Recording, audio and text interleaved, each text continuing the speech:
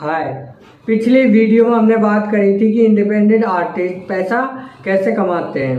अब बात करते हैं कि साइन आर्टिस्ट पैसा कैसे कमाते हैं। लेबल के साथ क्या कॉन्ट्रैक्ट साइन करते हैं। आपने सुना होगा या देखा होगा लेबल का नाम। लेबल जैसे T series Sony music Zee music ये कंपनियाँ होती हैं जो इंडियन म्यूज़िक इंडस्ट्री में उन आर्टिस्टों को ढूंढती हैं, जो मार्केट में पॉपुलर हो रहे हों। चाहे उनके गाने से या उनकी आवाज़ से, जो अपनी सिंगिंग के दम पर मार्केट में छा रहे हों। ये कंपनियाँ उन आर्टिस्टों को साइन करती हैं। सिंगर और इन कंपनियों के बीच एक कॉन्ट्रैक्ट होता है, एक एग्रीमेंट होता है, जिनको सिंगर साइन करते हैं। ये कॉन्ट्रैक्ट चार या पाँच साल का हो सकता है।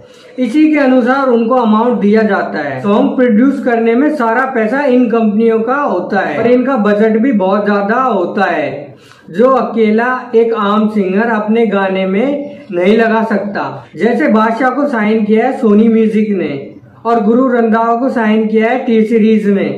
इसके अलावा ये सिंगर लाइव शो से मर्चेंडाइजिंग से ब्रांड प्रमोशन से प्राइवेट इवेंट से पैसा कमाते हैं और ये कंपनियाँ online distribution streaming YouTube radio TV royalties और अदर सोर्स से पैसा कमाती हैं। अगले वीडियो में बात करेंगे कि क्या सिंगर कवर सॉन्ग से भी पैसा कमा सकता है। तो मिलते हैं अगले वीडियो में। देखिए, हर वीडियो में बहुत मेहनत और समय लगता है। तो प्लीज़ चैनल को सब्सक्राइब करें।